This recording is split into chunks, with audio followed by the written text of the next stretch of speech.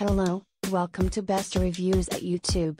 This item has a rating of 3.9 out of 5 stars.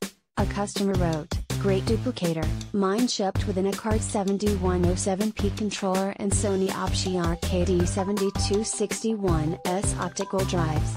I think it's a great value for the money. LightScribe functions were easy to perform for a first time user by following the PDF instructions on the included disc. Basically you just make a label with the included CD label making software, then print it to a LSI file which is then burned onto a CD.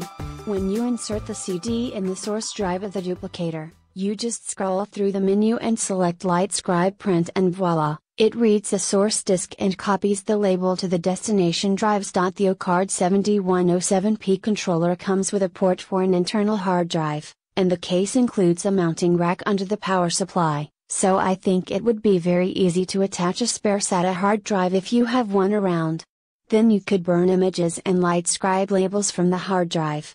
Haven't tried this yet though. The only negative point so far, and why I gave it 4 stars instead of 5, is that Amamax recommends not to use many major brands of DVD media. They specifically recommend not to use Philips, Memorex, Maxell, RiDATA and TDK to name a few.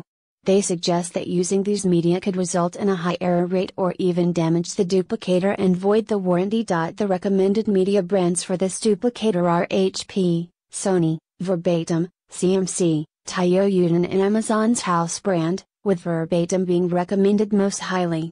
Obviously using brand name discs drives up the cost of ownership if you are planning on using generic discs. Thank you for watching. Please give the thumbs up.